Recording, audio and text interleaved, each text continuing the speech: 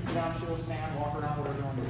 So sometimes to learn techniques, what I like to do is not only just, you, you obviously got to get shown those techniques and learn those techniques, but you have to understand sometimes the history of jiu-jitsu, why we do certain things, the developments that have happened, and why we're doing them now this way. We pretty much have a reason that we're doing things uh, in jiu-jitsu. If, if you don't, then you should, should try to assemble a path for your jiu-jitsu. That literally, like write it out. Have you guys ever done that? What are my favorite techniques? Write them on paper. And how can I take those techniques and connect them? You know what I'm saying? Like, that's very important to do. Uh, some people call them a flow chart, some people call it a mind map, but it's very important to do, okay? So if Donnie gives me his back, we're just gonna talk back control, okay? So if I'm on his back, I don't think I need to explain this much, I'm on his back, right? Crucifix is gonna be kind of on his back, but I'm on his side. And even better, I'm gonna have control of his arm. I can also have multiple controls of his arm over here, or his neck, or his hand and collar. But the cool part about this arm control over here is I can tap him. Look, hips in, and he taps. So I have an arm submission, a neck submission. There's cool little stuff I could do over here. I could also have them in like Kimura type action. There's guillotines that I can do from here, neck cranks. And then also, if Donnie ever like bridged into me, I, I always still have his back, and not only do I have his back, I have his back with arm trap. It's like horrible for him, right? So it's like after doing jiu-jitsu since the 90s, I kind of go back and forth as to what I think is better, the back position or the crucifix. I feel the crucifix is more dangerous than the back by itself, but the back, you can belly people out, you can squish them, you can ride around, you know, your little horse drill, you know what I'm talking about, like we all do with our kids. You can't quite do that with crucifix, but they're not as mobile in the crucifix. I can be on someone like I just was with Donnie, he's not gonna get up and roll around as much as he could if I was just on his back. So the positional, I think, can be better for having your hooks, for having the body trying to lean on the back. But having the crucifixion, having the arm and the neck is better submission wise, because you have them under double attack. It's got to think about two things: arm defense and neck defense. Okay. So let's let's just go super easy from turtle. Okay. Back up some here, buddy. So usually when I take the back, turn side. Usually when I take the back regularly, I'm gonna stick my knee in between the knee and the elbow. I have my other leg up. I'm seat belting and I'm holding him at a 45 degree angle over his shoulder in order to take his back. When I want a crucifix, these guys are switched. I'm here like this.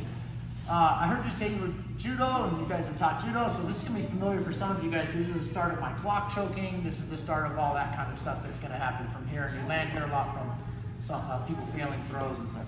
So number one, let's just start seatbelt, okay? So I'm just gonna seatbelt. Anytime I seatbelt, the hand that is going around the neck is on bottom. Hand that's going around the neck is on bottom. It's important so I don't go like this and then, because like, if, sit up for me, I know we're here with beginners. If I, if I grab like this and he grabs my top hand, well now he's got my freaking choking hand. If I grab like this and he grabs my top hand, he strips it, I've got the top hand to choke, or underneath hand to choke. So anytime we grab around the neck, on a seatbelt on the back, I tend to grab this hand, it's gonna cover it, okay? So my knee is in, my knee is in to the point to where my hips touch him. I'm not away from him. I'm like this, and I'm making him carry my weight. So don't be, it's really easy to be on my knee and only be on my knee. Donnie moves around, he gets his underhook back. You know, I start running into trouble, you know what I'm saying? So I put weight on his elbows, his knees, I make him less mobile just by riding his hip. My elbow's digging into his lower back and his hip. My hips are riding his hip. I'm seatbelted on him now like this. He's feeling my weight, okay? So the other thing that I can do here is if his elbow's in, just look what I'm doing with my elbow. My knee goes in, and then look at this, out. So I'm not really over exaggerating, but basically, it'll, it'll separate his arm. Right? And I'm here, slide my knee out a little bit, hook, and put my knee down. Don't worry about which way his arm. I can't control if Donnie goes like that. There's thing. It's not. It's not the end of the world. Let's just start basic here like this. Okay. I've got seatbelt. I'm gonna go to a double wrist grip now. And when I go wrist, I'm going palm and wrist, and then wrist. So this does a couple things for me. I can pull him backwards real hard. Now I got this bar that's his forearm. that I can literally plant on my feet and I can pull him backwards. Okay? I'm literally pulling his, pulling his arm through his chest. Seat belt, catch the leg, foot's down. I go double wrist control. Now that his elbow's in, he no longer has that post. That's what I'm talking about. Is that you? They're like, this guy needs to shut up. No, I'm just kidding. so look, now that I pulled his wrist in, he has no base over here. I could let go with one hand, look the opposite direction, and I easily roll over, re-grab, and now I'm on the crucifix, same position. So I've either got forward or backwards. Spin a little bit. Forward. Wrist grab. Pull it to his body.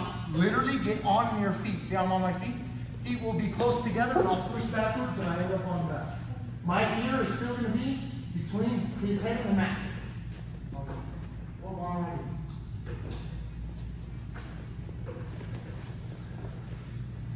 The next one, I'm going to shoulder roll him. Okay, pull his wrist in. Now he's got no post. I will take my, my neck hand out, post on the mat, look the opposite direction towards the arm. And I can literally roll. What, what's really going to roll him over is me pulling his arm with my leg. Go back to the wrist grab, and then I'm up. Those two entrances are super simple. They'll get us kick started. Does that make sense? Yes. So do two. Do one, the other, and then switch. One, the other, and then switch. Need to see it again? You okay?